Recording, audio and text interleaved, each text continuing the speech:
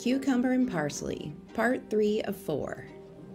Both are natural astringents, helping to tighten and refine pores. This can reduce the appearance of pores and give them a smoother, more refined texture.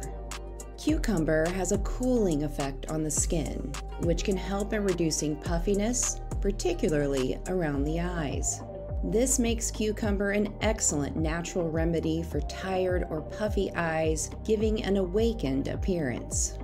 Look for part four of our cucumber and parsley series. Love ilike Organics.